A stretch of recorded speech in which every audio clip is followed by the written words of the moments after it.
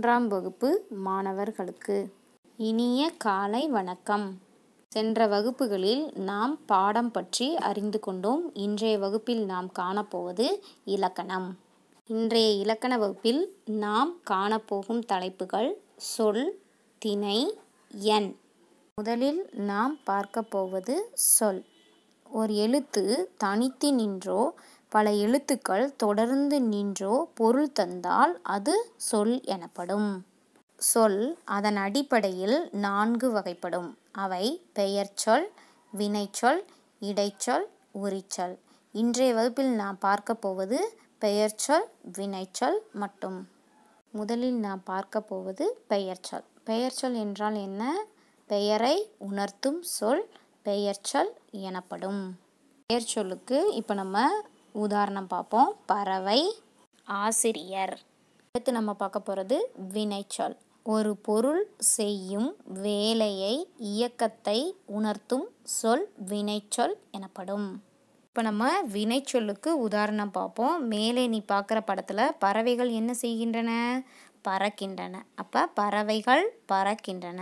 இதில் பறக்கின்றன அப்படின்றதான் என்ன சொல்? வினைச்சொல். இப்போ நீ இந்த படத்தை பாரு. இதில் இந்த சிறுமி என்ன செய்து கொண்டிருக்கிறாள்? பாடுகிறாள். அப்போ சிறுமி பாடுகிறாள். இதில் பாடுகிறாள் என்பது வினைச்சொல். சொல் பற்றி நாம் அறிந்து கொண்டோம். அடுத்து நாம் பார்க்க போகும் தலைப்பு திணை. திணை என்பதன் பொருள் ஒழுக்கம் என்பது ஆகும். திணை இரண்டு வகைப்படும். ஒன்று உயர்திணை மற்றொன்று அக்ரிணை முதலில் நாம் பார்க்க போவது உயர்திணை உயர்திணை என்பது சிந்தித்து அறியக்கூடியவை உயர்திணை எனப்படும். அதற்கு சில உதாரணங்கள் பார்ப்போம். மக்கள் கண்ணன் தேவி மன்னன் இவங்க எல்லாருமே யார்? உயர்திணைக்கு உரியவர்கள். அடுத்து நம்ம பார்க்க போகிறது அக்ரிணை அக்ரிணை எப்படி பிரிக்கலாம்? அல் ப்ளஸ் திணை அக்ரிணை சொல்லுவோம். உயர்திணையில் வந்து சிந்திக்கும் திறன் உடையவர்கள்லாம் யார்? உயர்திணை அக்ரிணை அப்படிங்கிறது சிந்திக்கும் திறனற்ற.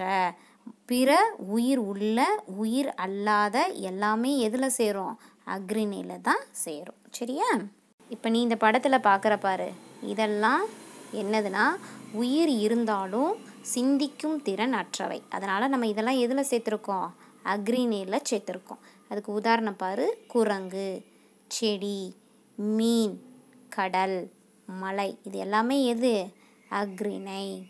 மாணவர்களே இப்போ நம்ம உயர்திணை அக்ரிணையை பற்றி பார்த்தோமா இல்லையா? இப்போ இங்கே நிறைய சொற்கள்லாம் இருக்குது அதெல்லாம் என்னென்னு இப்போ நீங்கள் தான் சொல்ல போகிறீங்க சரிங்களா? சொல்லு பார்ப்போம் பொன்னன். பொன்னன் வந்து உயர்திணையா அக்ரிணையா? வெரி குட் உயர்திணை. ஏன்னா அவங்களாம் பேசுவாங்க சிந்திக்கும் திறன் உடையவர்கள். சரியா? அதுக்கடுத்து பாரு. மரம். மரம் உயர்திணையா அக்ரிணையா? Very good அக்ரிணை. அடுத்தது பாரு தாள். தாள் வந்து உயர்திணையா அக்ரிணியா வெரி குட் அக்ரிணை. அடுத்து ஆசிரியர். ஆசிரியர் எதில் வருவாங்க? உயர்திணை. வெரி குட் அவங்க நமக்கு பாடம்லாம் சொல்லி தருவாங்களா இல்லையா? உனக்கு தேவையான கருத்துக்களை எல்லாம் நிறையா சொல்லுவாங்க. அதனால் அவங்களாம் யார்? உயர்திணை. அடுத்தது பாரு கல். கல் வந்து உயர்தினியா அக்ரிணியா வெரி குட் சூப்பராக சொன்னேன் கல் வந்து என்னது? அக்ரிணை. அடுத்து சங்கு. சங்கு எதில் வரும்? அக்ரிணை அடுத்து பாரு கண்ணகி. கண்ணகின்ற சிலை. அவங்களும் ஒரு பெயர் சொல் தான். அவங்க வந்து எதில் வருவாங்க? உயர்திணை. வெரி குட் அடுத்து மருத்துவர். மருத்துவர் எதில் வருவாங்க? உயர்திணை. வெரி குட் அடுத்தது பாரு புறா. புறா உயர்திணையா அக்ரிணியா அக்ரிணை அப்போ சரியாக சொன்னீங்க. உயர்திணை பற்றி அக்ரிணை பற்றியும் நன்றாக அறிந்து கொண்டீர்களா? சரி. அடுத்து நம்ம பார்க்க போகிற தலைப்பு எண். எண் என்பதன் பொருள் எண்ணிக்கை. இலக்கண வகையால் எண் இரண்டு வகைப்படும். அவை ஒன்று ஒருமை மற்றொன்று பன்மை. ஒருமை என்பது ஒன்றனையோ ஒருவரையோ குறிப்பது ஒருமை எனப்படும். ஒருமைக்குரிய பால்கள் ஆண்பால் பெண்பால் மற்றும் ஒன்றன் பால் பன்மை. பன்மை என்பது ஒன்றனுக்கு மேற்பட்ட பலவற்றையோ பலரையோ குறிப்பது பன்மை எனப்படும். பன்மைக்குரிய பால்கள் பலர் பால் பலவின் பால். ஒருமை ஒருமைப்பன்மைக்கு சில உதாரணங்கள் பார்ப்போம். இப்போ நம்ம இங்கே பார்க்குற பிக்சர் பாடு ஒரே ஒரு மாடு இருந்துச்சுன்னா நம்ம என்ன சொல்லுவோம்? மாடு அப்படின்னு சொல்லுவோம். அதுக்கடுத்து பக்கத்தில் எத்தனை மாடு இருக்குது நாலு இருக்குது அப்போ நம்ம என்ன சொல்லுவோம்? மாடுகள் சொல்லுவோம். அப்போ இங்கே மாடுன்றதோட கள் அப்படின்ற விகுதி சேர்த்துட்டு மாடுகள் அப்படின்னு ஆயிடுச்சுன்னா பன்மை. சரியா? அடுத்த உதாரணம் பார்ப்போம். இப்போ மேலே இருக்கிற படத்தை பாரு. அதில் என்ன இருக்குது ஒரே ஒரு மிருகம் இருக்குது இங்கே ரெண்டு மூணு மிருகங்கள் வந்து இருக்குது அப்போ மிருகம்ன்றதுல மீ ரு கா எம். லாஸ்ட் லெட்டர் என்ன வந்திருக்கு?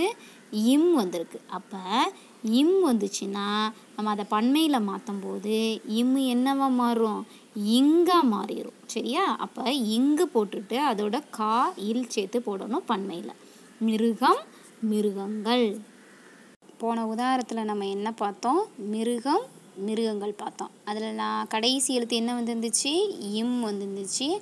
அதுக்கு பதிலாக நம்ம இங்கே என்ன போட்டோம்? இங்கு போட்டு காயில் போட்டோம். இப்போ இங்கே இருக்கிற உதாரணத்தை பாரு. புல் கொடுத்துருக்காங்க. இங்கே புற்கள் கொடுத்துருக்காங்க. இப்போ இங்கே என்ன மாற்றம் இருக்குது? புல் அப்படின்றதுக்குல லாஸ்ட்டு எழுத்தான இல். அதுக்கு பதிலாக நம்ம இங்கே என்ன போடணும்? இர் போடணும். பெரிய இர் போட்டு கா இல் போடணும். புல் புற்கள். அடுத்த உதாரணம் பாரு. இங்கே ஒரே ஒரு எழுத்து மட்டும்தான் வந்திருக்கு. பூ. பூ கொடுத்துருக்காங்க. இங்கே அது என்னவா மாறி இருக்குது பூக்கள் அப்படின்னு மாறி இருக்குது அந்த ஓரெழுத்தோட இக்கு போட்டுட்டு காயில் சேர்க்கணும். ஒருமையில் பூன்னு வந்துச்சுன்னா பன்மையில் நம்ம என்ன போடணும்? பூக்கள் அப்படின்னு போடணும். சரியா? மாணவர்களே இன்றைய இலக்கண வகுப்பில் சொல் திணை எண் பற்றி நன்றாக அறிந்து கொண்டிருப்பீர்கள். நன்றி மாணவர்களே.